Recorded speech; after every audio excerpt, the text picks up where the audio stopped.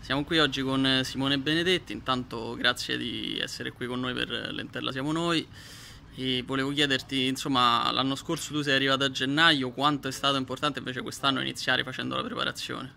No, è stato importante soprattutto perché appunto è una stagione nuova, si riparte tutti da zero e bisogna dimostrare un'altra volta eh, quello che magari si è fatto l'anno scorso e cercare di fare appunto il più possibile. Prima di tutto ovviamente la salvezza e poi magari come l'anno scorso sebbene una cosa in più ben venga.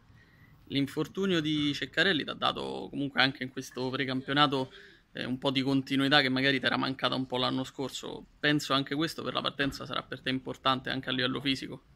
Sì, sicuramente, anche quello, sicuramente mi dispiace assolutamente per Luca, e, appunto nel senso io da gennaio, considerato da febbraio che appunto loro erano già comunque una coppia importante, rodata, quest'anno si parte da zero e poi il mister deciderà chi far giocare.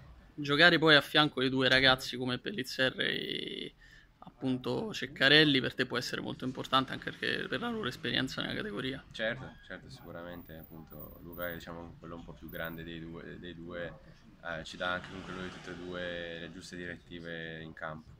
Invece fuori dal campo una curiosità con chi ti trovi magari meglio, con chi no, hai... sinceramente con tutti, sono, veramente sono proprio un bel gruppo, bravi ragazzi e riusciamo a legare comunque abbastanza con tutti. Questo fine settimana parte il campionato di Serie B, le tue impressioni anche quanto sarà importante la differenza tra sintetico e erba normale? Eh, la differenza è tanta, eh, il, sintetico, il, sintetico, è particolare, è sempre più meglio giocare sull'erba perché comunque il rimbalzo lo conosciamo bene, il sintetico è un rimbalzo diverso de, del pallone. E per chiudere una cosa che chiedo un po' a tutti, qual è il calciatore a cui tu ti ispiri?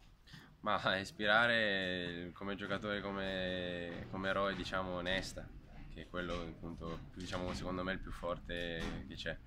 Ok, in bocca al lupo per la stagione e Grazie mille. forza Entella.